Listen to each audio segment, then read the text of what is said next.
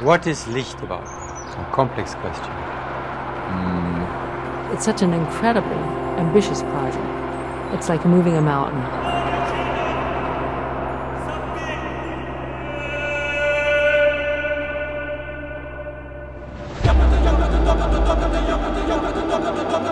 He was an innovator, the first one to really make electronic music. He actually created a new way of synthesizing sound. Pop and techno. Without Stockhausen, we would not have the Beatles, Pure, Prince. He is a giant, and I think the music is extraordinary. But what is Stockhausen trying to tell with this epic opera? There was a big hole in his personality. He didn't love himself. He was looking for completion.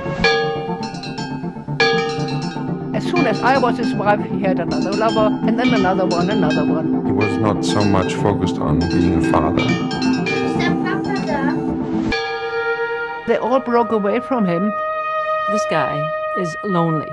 And I think with Licht he tried to heal his own complicated situation. Light is his life. Light is Karlheinz. I was approached to stage one of the most unique music theater experiences that the composer has ever imagined. Stockhausen put his entire trust in us to make sure this goes on in the right way.